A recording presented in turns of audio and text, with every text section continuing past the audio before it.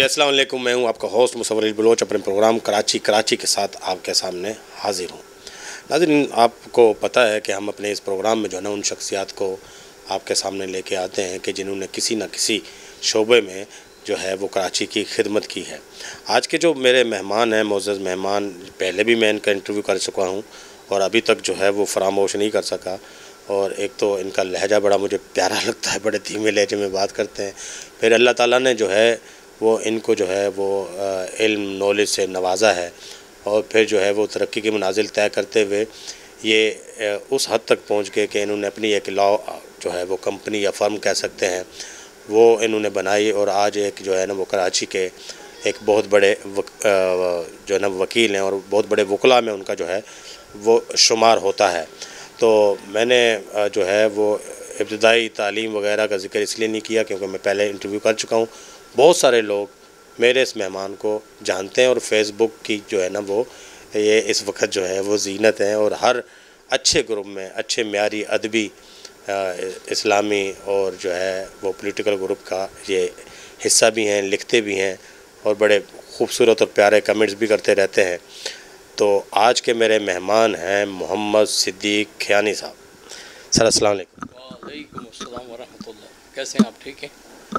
अल्लाह का करम है सर सर मुझे बड़ा अच्छा लग रहा है कि आज मैं फिर जो है वो आपके साथ यहाँ बैठा हुआ हूँ और आपका इंटरव्यू कर रहा हूँ।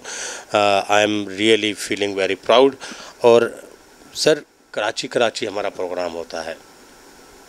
आप जैसे लोगों ने अपनी सारी ज़िंदगी जो है वो इसी कराची में गुजारी है, बचपन है, जवानी है ठीक है। ज़रा थोड़ा सा अपने स्ट्रगल का सफ़र भी हमें ज़रा बताइए। आपने तालीम कैसे स्टार्ट की? पहले कहाँ रहते थे? और कराची के किस इलाके में? और उस इलाके की यादें क्या अभी तक आपके साथ जुड़ी हुई हैं? क्या क्या ख़ास बात थी उस इलाके की जहाँ पर आप रहते थे? जिस जगह मैं पैदा हुआ वो घर अब भी मेरे पास है।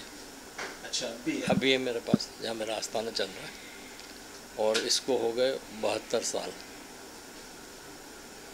सारी गमी खुशी वहीं पर देखी शादी भी वहीं हुई बच्चे भी वहीं पले बढ़े वकालत भी वहीं से शुरू की। तो ये भूलने वाली चीज़ ही नहीं है। इतनी ज़्यादा यादें वाबस्ता हैं इससे कि एक चीज़ को याद करो तो पूरी लड़ी झड़ी आ जाती है और आपको जो है ना उसको ख़त्म करने में दो घंटे खा रहा था ये तो कराची का दिल था। और कायद आज़म की बर्थ प्लेस के बिल्कुल साथ सामने। मशहूर रोज़ी फ़ोटो स्टूडियो हुआ करता था उस ज़माने में। मेरे घर के नीचे ही था। एम सुलेमान मिठाई। ये ये वो जगह हैं कि जो कराची में मशहूर हैं पॉपुलर हैं। तो ये मेरा लोकेशन था। और स्कूल जो इब्तदाई थी मेरी वो कागज़ी बाज़ार में एक स्कूल थी जो ख़त्म हो गई। गौसिया स्कूल के नाम से थी। इसके बाद मैंने मदरसा इस्लामिया में पाँचवीं तक और इसके बाद उखाई मेमन स्कूल में सेकेंडरी और इसके बाद एस एम कॉमर्स कॉलेज शार फैसल शार कायदीन फरिया रोड वाली। यहाँ से इंटर किया ग्रेजुएशन भी एसएम से ही किया डिग्री कॉलेज से। फिर इसके बाद प्रीमियर कॉलेज चले गए। प्रीमियर कॉलेज में तकरीबन दो साल डिग्री कॉलेज जो है ना वो मैंने प्रीमियर से कंप्लीट की और इसके बाद एमए इकोनॉमिक्स और फिर तो बहुत सारी चीज़ें सामने आ गई कि ये भी करना है, ये भी करना है। अल्लाह ने एक खूबी और टैलेंट दी मुझे कि मैं जिस फ़ील्ड में हाथ रख दूँ, मैं उसमें इल्म पूरा करके चलता था। कभी भी जो है ना, नाकाम नहीं हुआ। सर ये जो मतलब आपका भी जो है ना वो मेमन एक की एक जो है ना बरदरी की शाख से ताल्लुक़ है। ज़्यादातर देखा गया कि ये ज़्यादातर बिज़नेस तालीम बड़ा कम। आपके जहन में ये क्या आया और आप किस तरह जो है ना इस तरफ़ निकल गए? क्या जो है ना ख़ानदानी तो का बिज़नेस बैकग्राउंड जो है ना वो श्रीलंका से। इससे पहले कोलंबो वो बर्मा बर्मा से फिर श्रीलंका श्रीलंका से फिर मद्रास इंडिया में। फिर कराची आए। तो इनका तो कहना ये था कि बस बिज़नेस ही बिज़नेस करना है। लेकिन जब मैंने देखा ना तो मैंने कहा कि मुझे बिज़नेस नहीं करना। बहुत नाराज़ हुए बहुत नाराज़ हुए और फिर मैंने एल एल बी करने के बाद तो वकालत जब शुरू की तो इंतहाई नाराज़ थे। लेकिन फिर जब देखा कि कोई गलत काम तो नहीं कर रहा मैंने कभी कोई झूठा केस नहीं दिया अपने कैरियर में। फिर समझ में आया फिर लेकिन मेरा जोबन नहीं देख सके इससे पहले इस दुनिया से रुखसत हो गए तो ये दिल में एक वो रह गई है कि वालिद ने मेरा उरूज नहीं देगा हाँ नाजरे ये जो आ, मतलब बा, बात ये कर रहे हैं कि इंसान जब कामयाबी की हदों को छूता है या कामयाब होता है तो इसकी बड़ी ख्वाहिश होती है खसूस वालिद उस पर फ़ख्र कर सके, वो कह सके महफ़िलों में इधर उधर कि मेरा बेटा जो है ना, मुझे इस पर फ़ख्र है और इस मकाम पे पहुँचा है। और ये एक जो एक एक आप कहते हैं कि दिल में कसक सी रह जाती है ना, ये बड़ा तंग भी करती है बाज़ अच्छा सर, कब वाले साहब जो है ना, वो माइग्रेट होके पाकिस्तान आए थे? 48 में 1948 में, और यहाँ आने के बाद मेरी पैदाइश हुई है। मतलब आप पाकिस्तान से एक साल छोटे हैं। हाँ बिल्कुल एक साल छोटा। 1948 की मेरी पैदाइश और 47 में पाकिस्तान बना है अच्छा सर वकालत की तरफ़ आप आ आप आ गए। जारी बात है वाले साहब तो बिज़नेस मैन थे अगर आप बिज़नेस की तरफ़ जाते तो वो आपकी हेल्प भी करते सपोर्ट भी करते और आपके साथ भी चलते आपको सिखाते भी बताते भी। अब आप वकालत की तरफ़ जब आए तो मतलब पापड़ तो बड़े बेलने पड़े होंगे। मुझे नहीं भेजने पड़े। अच्छा। मुझे अल्लाह ने कुदरती तौर पर एक ऐसा टैलेंट दिया कि मैं फाइनल फोकस जो पॉइंट होता है ना उस पर पहुँच जाता हूँ। फिर वहाँ से काम शुरू हो जाता है। अल्लाह का बड़ा एहसान है कि वकालत में भी मेरा लिखे पढ़े लिहाज से रिकॉर्ड के लिहाज से मेरे सीनियर हैं मिर्ज़ा असलम बेग जो आर्मी नहीं मिर्ज़ा असलम बेग के भाई मिर्ज़ा अरशद बेग। जो रिटायर्ड सिविल जज थे डिस्ट्रिक्ट जज थे तो मैंने उनका नाम इस्तेमाल किया मेरा इनरोलमेंट होने की हद तक। अच्छा। कभी भी मैंने एक दिन भी किसी के साथ नहीं गुजारा। जाता था जब ज़रूरत महसूस हुई कि कमी तो वो मुझे मिर्ज़ा अरशद बेग साहब ने यही कहा था कि जो बात समझ में ना आए आ जाओ मेरे पास पूछ लो। लिखना नहीं कर लिख नहीं सकते मेरे पास आ जाओ मैं लिखना सिखा दूँगा। वो इतना प्यार करते थे, इतनी मोहब्बत करते थे। तो उन्होंने मेरा हाथ पकड़ के गाइड किया। इसके अलावा मेरे जो दोस्त थे उन्होंने भी काफ़ी हेल्प की। बिलखसूस मेरा दोस्त है अनवर गनी। मुझसे दस साल बड़ा इस वक्त एटी टू की एज है इसकी। और कानून का, की फ़ील्ड में है, लेकिन इसने एलएलबी नहीं किया। एडमिशन लिया लेकिन ये पैटर्न्स और ट्रेडमार्क का मास्टर थे, उसमें भी मुझे इन्होंने काम सिखाया और मैंने किया।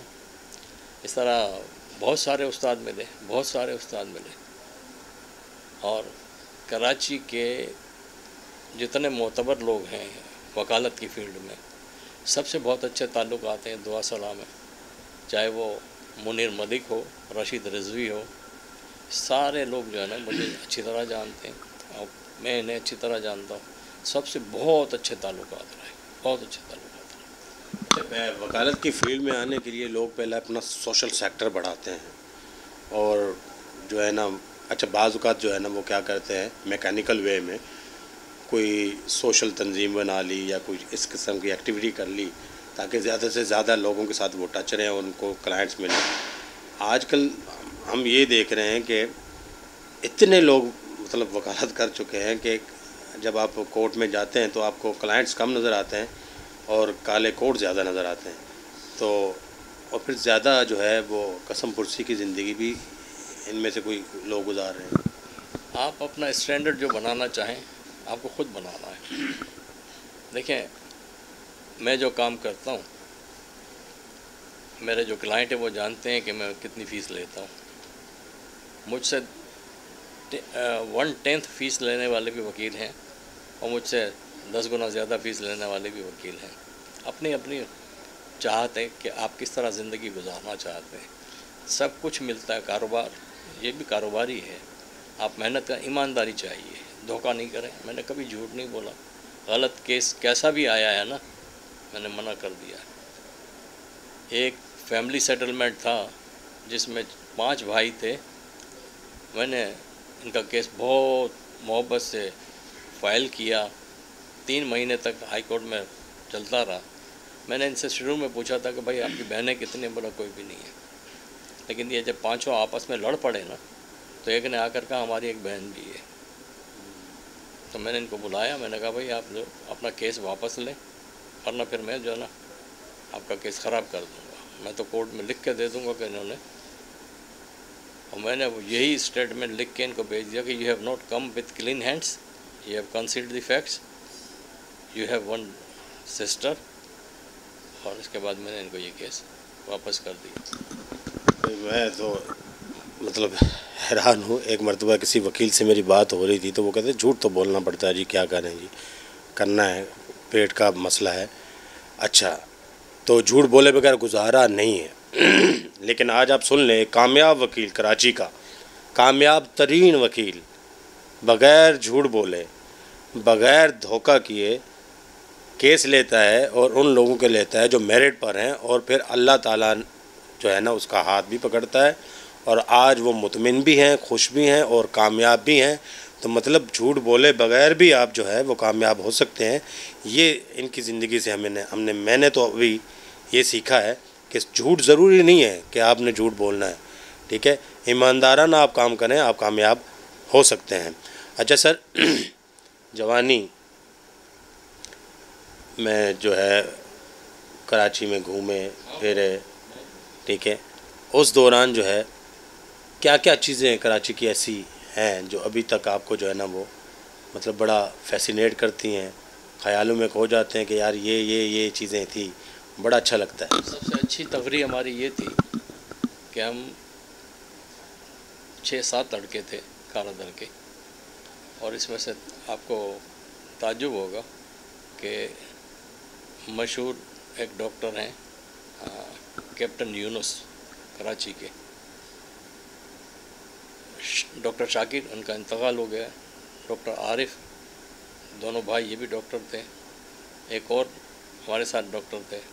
तो इस तरह मेरे ग्रुप में अच्छे ख़ानदान के लोग, पढ़े लिखे लोग और चार्टर अकाउंटेंट काफ़ी थे। तो हमने एक अच्छी ज़िंदगी गुजारी, अच्छे माहौल में गुजारी, अच्छे दोस्तों में गुजारी। आपने शायद सुना हो कि मेमन कम्युनिटी में उस ज़माने में, सिक्सटीज़ में सी एस बी अफसर जो है ना, जो कामयाब हुआ था इकबाल सोरठिया, अब्दुल कादिर सोरठिया साहब का बेटा, वो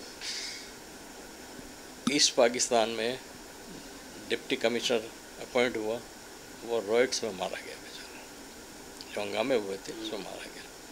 लेकिन बड़ा उसने भी काम किया, इनका बड़ा भाई, अब हयात है कि नहीं, पेट्रोकेमिकल्स में पीएचडी है और पहले इंग्लैंड बेस करता था फिर सुना सऊदी अरेबिया की नेशनलिटी ले ली इसने। क्योंकि उसकी फ़ील्ड ऐसी थी उसको मिल गई वहाँ की नेशनलिटी तो पढ़े लिखे लोगों का की खूबी ये है कि वो कभी भी बेकार नहीं रहते और हर बार एक नई जगह पर जाने की कोशिश होती है। तो तफरी क्या होती है? बहुत आसान। हम यही छः सात दोस्त छः सात दोस्त हम चले जाते थे। दिन में मिलते थे तीन बजे। उस ज़माने में हमारे खान